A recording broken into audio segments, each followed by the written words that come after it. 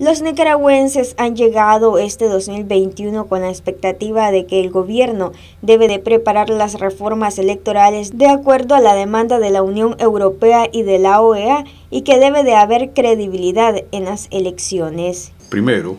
una reforma del sistema electoral que le dé credibilidad a esas elecciones, que pasa por eh, reformar aquellos aspectos demandados por la oposición política nacional eh, que pasa por reformar la composición del Consejo Supremo Electoral,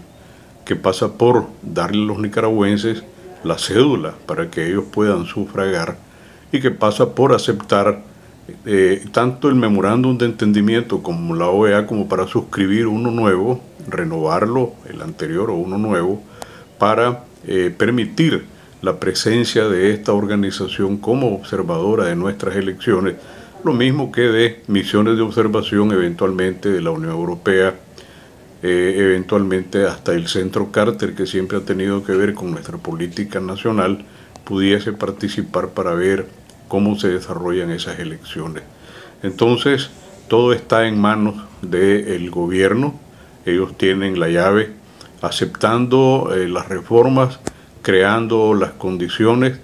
tienen un plazo de acuerdo a lo que estableció la Organización Mundial, eh, perdón, la Organización de Estados Americanos en la Asamblea General que se desarrolló en Colombia, en donde instaron al gobierno a eh, llevar a cabo reformas. Díaz afirma que en el mes de mayo las reformas deben de estar listas. O sea que en mayo ya las reformas deberían de estar listas porque de acuerdo a la ley